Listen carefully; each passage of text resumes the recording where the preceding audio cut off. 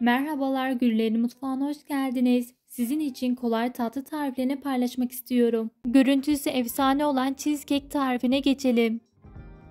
Rondonun içerisine bir paket burçak bisküvisi koyalım. Ve üzerine 3 yemek kaşığı eritilmiş margarin koyalım. Tane kalmayacak şekilde rondodan çekelim. Kasenin içerisine 200 gram labne peyniri, üzerine bir su bardağı şeker koyup çırpalım. Ardından bir kutu krema koyalım ve karıştıralım.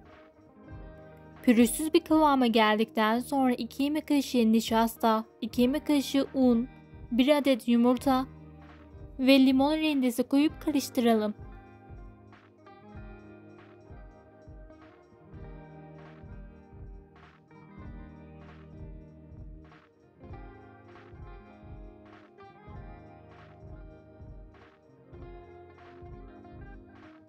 Kek kalıplarını koyalım.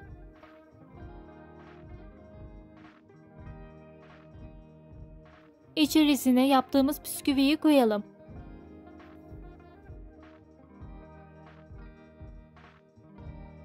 Ve tabanını düzleyelim.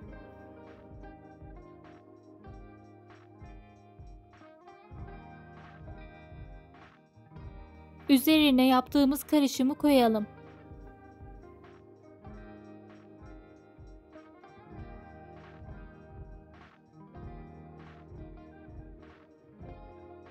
Önceden ısıtılmış fırında 180 derecede üzeri kızarana kadar pişirelim.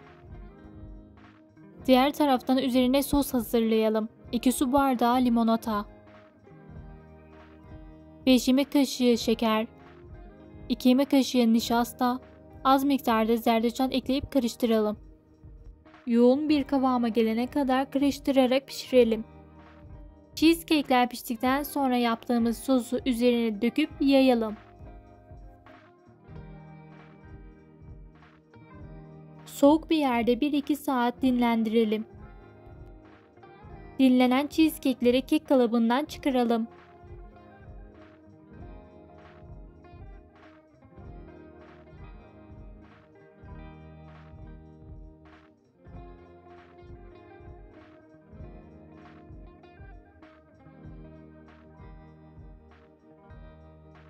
Üzerine beyaz çikolata sıkalım ve süsleyelim.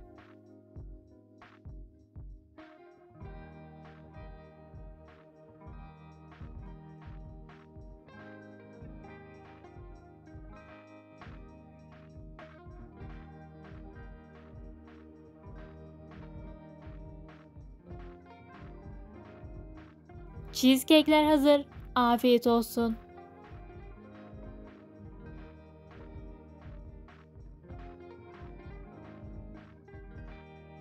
Sıradaki fincan tatlısı tarifine geçelim. Tencerenin içerisine 1 litre süt koyalım. İçerisine 1 su bardağı şeker, 3 yemek kaşığı un,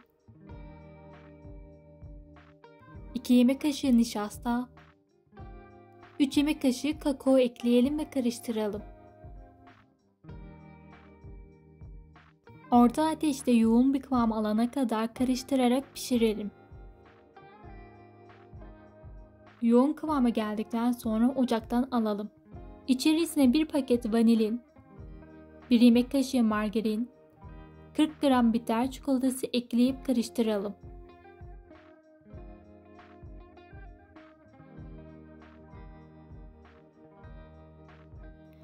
Kullanılacak fincanların içerisine su gezdirelim. Muhallebinin daha kolay çıkmasını sağlayacaktır. Muhallebiyi fincanlara eşit bir şekilde dökelim. 1-2 saat soğuk bir yerde dinlendirelim. Dinlendikten sonra kenarına yapışan kısımları ayırıyorum ve ters çeviriyorum.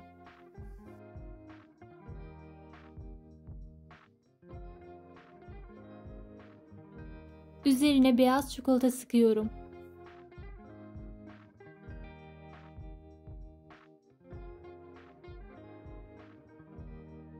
Fincan tatlısı da hazır. Şimdiden afiyeti olsun.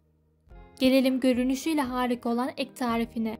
Orta kreması için 2 su bardağı süt, 1 çay bardağı şeker, 1 yemek kaşığı un, 3 yemek kaşığı nişasta ekleyelim. Pürüzsüz hale gelene kadar karıştıralım ve ocağı açalım. Yoğun bir kıvama gelene kadar karıştırarak pişirelim. Üst kreması için yaklaşık 200 gram labne peynirini alalım. Bir paket krema koyalım. Bir paket krem şanti ve 2 yemek kaşığı pudra şekeri ilave edelim. Mikser ile pürüzsüz hale gelene kadar çırpalım. Kedi dilini süt ile ıslatıp Hindistan cevizi ile kaplayalım.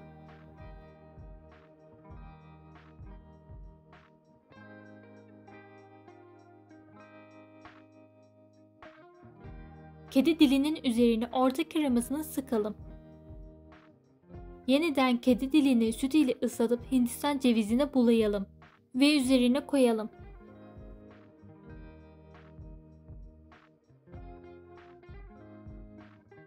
Sıkma torbasının içerisine üst kremasını koyalım. Kedi dilinin üzerine sıkalım.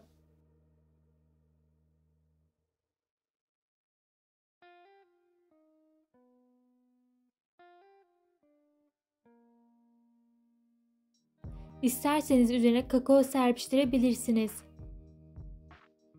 Son olarak uç kısmına çilek yerleştirelim. Şimdiden afiyet olsun. Petibör pastamızın tarifine geçelim. Uygun bir tencere içerisine 3,5 su bardağı sütü ekleyelim. Ardından bir paket vanilya aromalı pudingi ekleyelim. Yoğunlaşıncaya kadar karıştırarak pişirmeye devam edelim. Kek kalıbının içerisine az miktarda puding dökelim.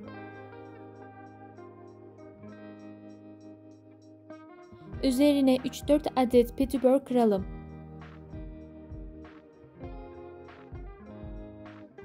Ve tekrardan puding ekleyelim. Malzemeler bitene kadar bu işleme devam edelim.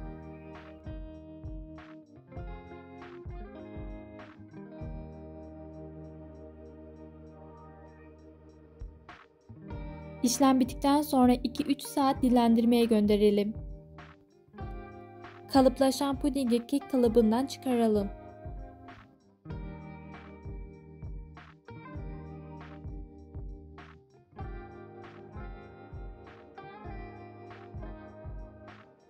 Üzerine çikolata ile süsleyelim.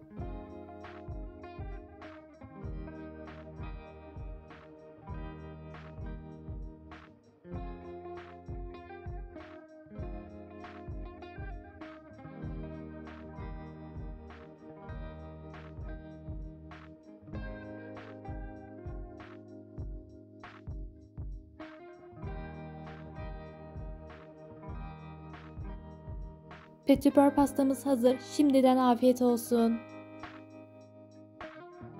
Karamelli vişne soslu tatlı. Tencerenin içerisine 1 litre sütü boşaltalım. 3 yemek kaşığı nişasta ekleyelim. 1 yemek kaşığı un da ekleyip karıştıralım. Yoğun bir kıvamına gelene kadar karıştırmaya devam edelim. Muhallebi kaynamaya başladıktan sonra ocağı kapatalım. Bir paket vanilin, bir yemek kaşığı margarin ekleyip karıştıralım. Ve ocaktan alalım. Vişneli sos için tencere 3 su bardağı vişne suyu koyalım. Üzerine bir çay bardağı şeker, 2 yemek kaşığı nişasta ekleyip karıştıralım. Yoğun bir kıvama gelene kadar karıştırmaya devam edelim. Yoğun bir kıvama geldikten sonra ocaktan alalım. Karamel için tavaya bir su bardağı şeker ekleyelim. Kısık ateşte yavaş yavaş eritelim. Şekerin tamamı eridikten sonra bir su bardağı suyu yavaş yavaş ilave edelim.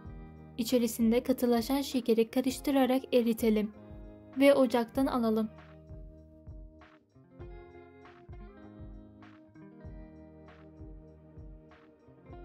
Ardından etimekleri dizelim ve üzerine karameli dökelim.